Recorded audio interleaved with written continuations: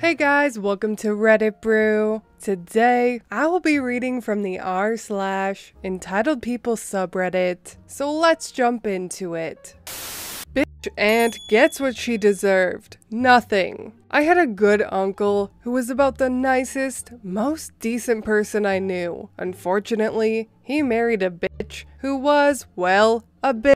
She openly ridiculed my uncle at family get togethers because he didn't make enough money, he had started a commercial office cleaning business, and seemed to be doing well. Wasn't manly enough, Whatever. She rarely had kind words for anyone in the family. She was also prone to just up and leave my uncle and their kids and drive about 800 miles away to stay with her family when she got mad about something. She would do this often and be gone for weeks at a time. Well, my uncle got Lou Gehrig's disease, and his physical abilities began deteriorating. And that was it for BA. She packed and left my uncle for good. He had to sell his business and move back to the area where his mother and my own family lived. They set him up in a nice little house with a personal assistant who came in daily to take care of him, drive him to doctor's appointments, etc. Plus, he was within a few minutes from my grandma and my family.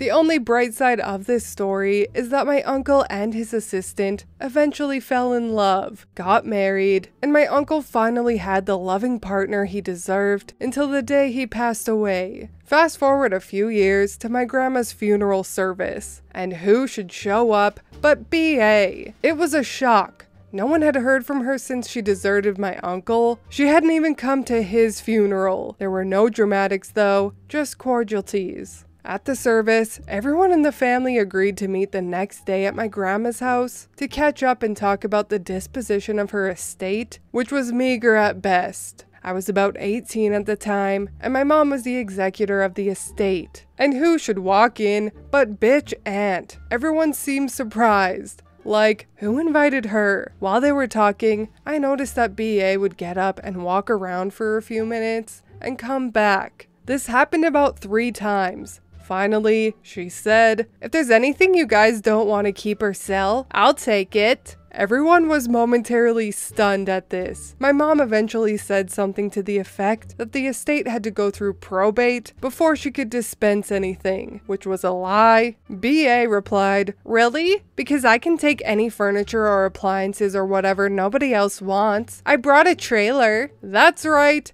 The bitch had rented a U-Haul and pulled it on about a 12 hour drive. She had hooked it up to her car at her hotel and brought it to the meeting, I guess, because men were there who could help load it up. My mom just reiterated the lie about probate, and Angry Aunt left soon after. My family isn't the type to be confrontational, but after she was gone, everyone just exploded about her greediness, expecting to take home family items after the way she deserted my uncle and rejected our entire family. Later, everyone picked out heirlooms and other items to take home. I got about a dozen of my grandma's hand stitched quilts, and we laughed about how angry she must have been after the cost and trouble of renting a U Haul, pulling it on a 24 hour round trip, and returning it empty.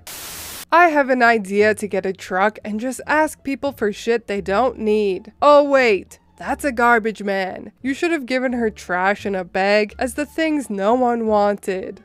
I totally agree, except for the fact that you can sometimes make money off garbage. So I'd just fill a garbage bag full of shit and give it to her, saying this is all she deserves. Like, geez, how does a nice man end up with a wretched woman like this? Maybe she put on a facade until they got married so she could trap him? Who knows? But I'm glad the uncle got to live the remainder of his life in happiness, and entitled aunt didn't get away with anything. But anyways, that is all from me today. I hope you enjoyed that entitled people story. If you did, please leave a like and subscribe. I truly appreciate when you do, and I will see you in the next Reddit story. Bye!